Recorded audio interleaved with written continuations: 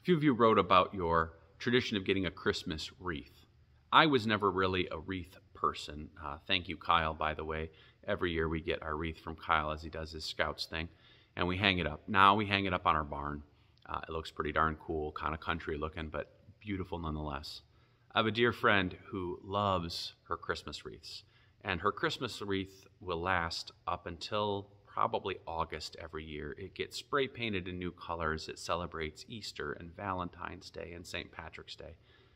But the wreath itself isn't anything all that spectacular, but it is a reminder. In the early church, instead of necessarily cutting down a tree and bringing it in your house, right? That's a much later thing that we do. They would take greenery, the branches, and weave them into a wreath. And they would place their Advent candles in a wreath of the greenery to remind them of the evergreen love of Jesus Christ in this tradition, then, we started hanging wreaths on our doors and on the house. But you'll notice even our Advent candles at church are in greenery because it's a remembrance. And that circle is not uh, just coincidental either.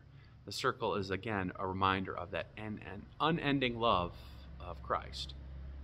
I don't know how you celebrate with your wreaths, right? I know at church we have one around the candles, we have one uh, by the altar, and then we have a big one outside as well by the main entrance.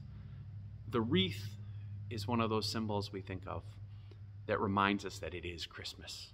I think of the wreath in uh, Charles Dickens' A Christmas Story, uh, depending on your version you like, where it gets chucked at his nephew who comes to celebrate, to offer him a gift, a gift of love, a gift of remembrance of that.